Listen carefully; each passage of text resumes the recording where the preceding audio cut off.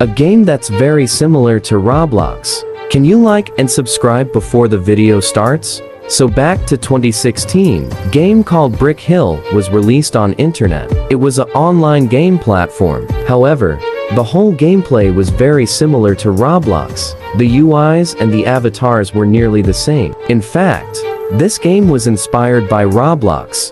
The only difference between the game and Roblox at that time was, Brick Hill was built with blocky and Lego-like parts, just like the old Roblox. Therefore, many players play that game as an old Roblox experience.